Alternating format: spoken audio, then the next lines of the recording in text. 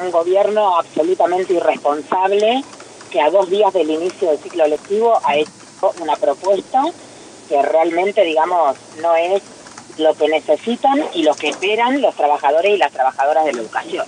Eso en primer lugar.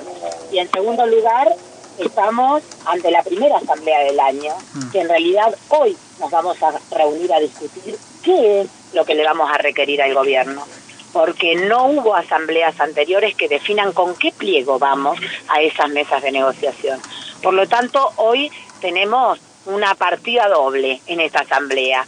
No solo rechazar esto por insuficiente, porque realmente pretenden los gobiernos que paguemos la crisis que han generado otros, eh, nos eh, proponen en esta en este acta sumas fijas que son las que acaban de aceptar en su gran mayoría en el Congreso de la CETERA, poniendo los salarios docentes de todo el país por debajo de la línea de pobreza, o sea, en 23 mil pesos el docente que recién se inicia eh, y, teniendo en cuenta que la canasta familiar hoy asciende, digamos, a los 62 mil pesos.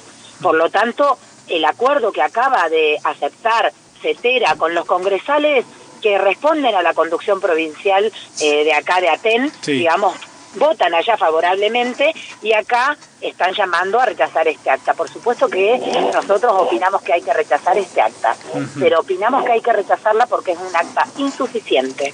Queremos el IPC para todo el año, porque nos han podado los salarios con distintas, digamos, iniciativas. Una de ellas es la inflación que no cesa.